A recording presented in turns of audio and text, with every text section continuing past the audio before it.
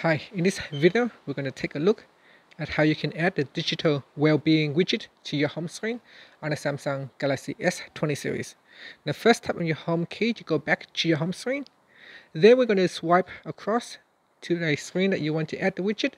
So say on this screen here, we're going to touch and hold onto your home screen. And then tap on widgets. Next, touch and hold to the digital well-being widget and drag it out onto your home screen then let go. And next we're going to choose the background color. So either choose white or black. And you can also change the transparency of the background. And then you just have to tap on the back key to go back to the widget. And here you can readjust the widget size. So here we can make it a little bit smaller or using the standard size. And then just tap anywhere on a blank spot on the home screen.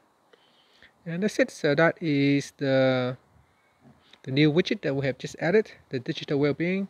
So it tells you your screen time usage and unlock times. And that's it. Thank you for watching this video. Please subscribe to my channel for more videos.